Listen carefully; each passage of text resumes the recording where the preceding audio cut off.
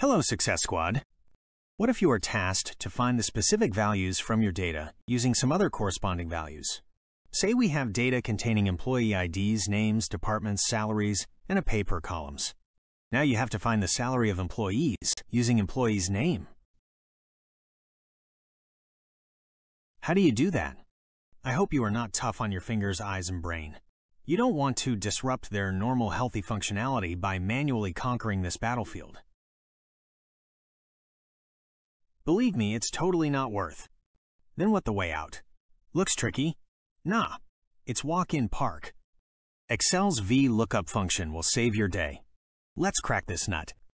The VLOOKUP function stands for vertical lookup and allows you to search for a value in the first column of a table or range of cells provided in the formula and return a corresponding value from another column of your choice within the same row. VLOOKUP function has four arguments. First argument is lookup value.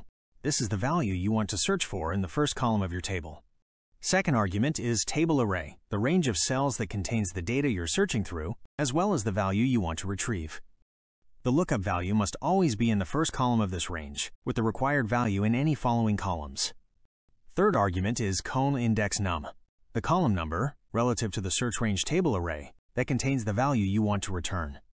Fourth argument is range lookup, this optional argument is set to false for exact matches or true for approximate matches.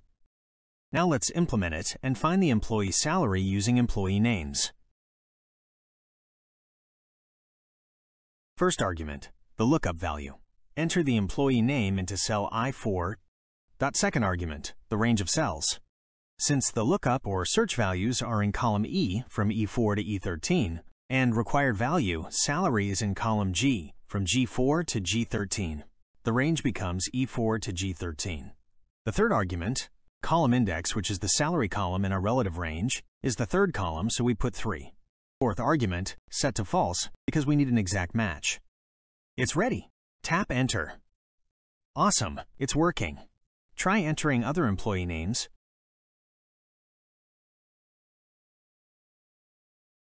Works perfectly. Anyway, that's all for today, folks.